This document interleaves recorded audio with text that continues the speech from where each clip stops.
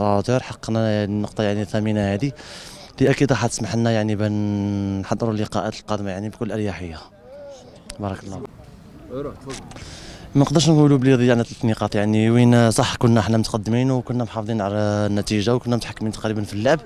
يعني سوء تفاهم يعني في آه، كرة يعني آه، عالية اللي آه، في آه، corner اللي تثبت تعادل آه، الفريق العلمه كما قلت يعني النتيجة يعني مش مخيبة. النتيجة يعني طيبة اللي راح تخلي الفريق يعني يحضر آه، اللقاء القادم امام ورقله يعني بكل